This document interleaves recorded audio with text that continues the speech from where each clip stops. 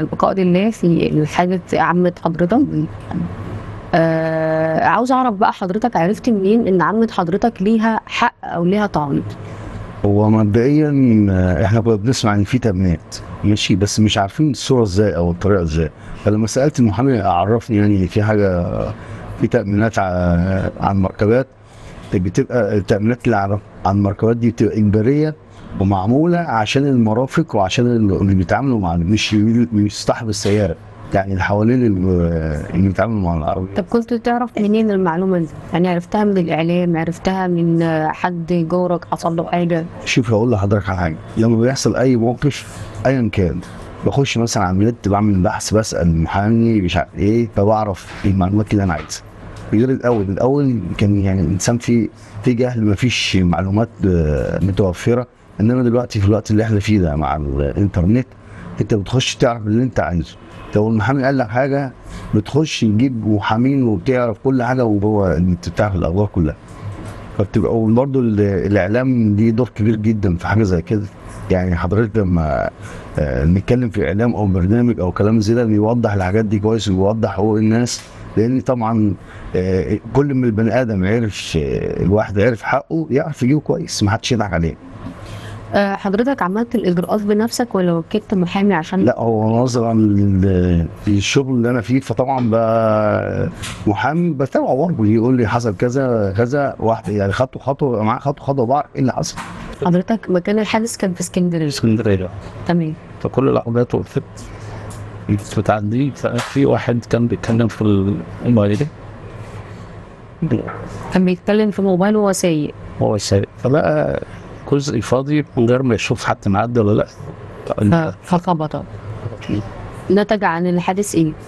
في إصابات في رجلي في الرجل في في قرط من هنا وفي عندي رشح في عيني ألف سلام على حضرتك طيب حضرتك عرفت إن ليك تعويض إزاي؟ هل عرفت من المحامي ولا كنت عارف قبل كده؟ لا ما كنتش. من المحامي المحامي هو اللي اتصل عليك لا هو آه، كان هو كان بشير في إجراءات القضية لما كنت رافع قضية لأن هو ما كانش مجرد إن هو كان حادث هو كان طامس رقم العربية كان. ودي موضة موجودة دلوقتي. وحضرتك جاي النهارده عشان تاخد كارت التعويض بتاعك. أنا جاي أسلم بس الورق. آه. تسلم الورق؟ آه يعني. آه بتسلم الورق ده بتبتدي إجراءات ولا خلصت خلاص لا الإجراءات؟ ببتدي اجراءات بتبتدي الإجراءات. هل قابلت حضرتك أي تعقيد في الإجراءات؟ لا الإجراءات تقريبا ناخذ دقيقتين أو ثلاث دقائق كتير. فاتش دقيقتين أو ثلاث دقايق. لا ما فيش. أنا بشكر حضرتك وألف سلامه على حضرتك. وإن شاء الله تحصل تعويضك و... ويتم شفائك على خير. أستاذ حسام عاوزين نعرف إيه هي إجراءات صرف التعويض. آه، في البداية كان الورثة المتوفي أو ال- أو المصاب أو أحد ذويهم آه، بعد ما بيقدم المستندات ال- في قسم المطالبات آه، بنبدأ آه، كإدارة تعويضات آه، ندرس ال- الملف آه، نعمل عليه سيرش قوي جدا على قاعدة البيانات المجمعة في البداية وبعد كده في منصة التعويضات هنتكلم عليها أكيد وبيتم دراسة الملف و- ونشوف هو مستوفي المستندات كاملة ولا آه، في حالة استيفائه بيتصرف ممكن ما ياخدش يومين ثلاثة ويتم صرفه مرة ثانية هل هل في آه، حالات بيتم رفض التعويض فيها؟ أكيد القانون حدد مجموعه من الاستثناءات على سبيل الحصر. آه، ممكن نذكر بعضها زي قائد المركبة متسبب في حادث مستثنى قانونا. آه، تلفيات المركبات آه، ما بتتعوضش. آه، في حادث ممكن يحصل سنة 2018 مثلا وال- والمحامي أو الورثة أو المصاب بشخصه يجي يقدمه فبيقدمه بعد ثلاث سنوات. فدي طبعا بيبقى عدى فترة التقاضي. آه، يعني يمكن لمست من بعض ال- الحالات اللي اتكلمت معاها إنه هم بيجوا بنفسهم علشان آم، المجمعة بترفض إنها تسلم التعويض ده للمحامي. النقطة دي بالذات يمكن آه، كان فيها مشاكل زمان كتير. آه، هل ده إجراء جديد عملته المجمعة؟